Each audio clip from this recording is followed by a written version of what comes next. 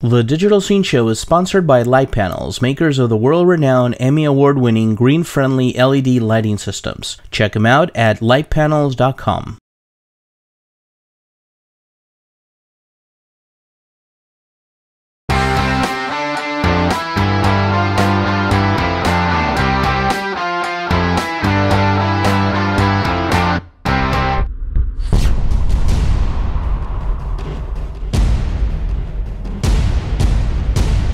Compositing for television is a more delicate process.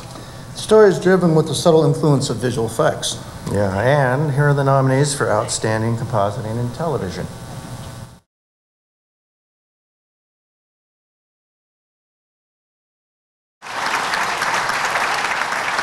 And the winner for Outstanding Compositing in Television is Krupp.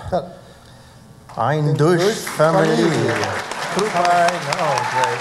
Thomas Tannenberger, Olcun Tan, James Joe and Grady Nassau.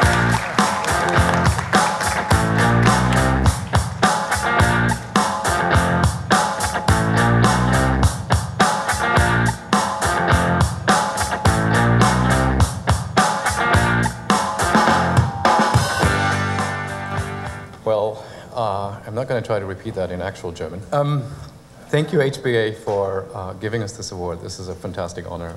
Um, we have to thank uh, director Carlo Rola and producer Oliver Berben for actually entrusting us uh, as an LA-based company with the uh, delicate effects and the tight schedule of this show. And um, we have to thank all of the cast and crew who made this thing possible. And I pass on to Olcun.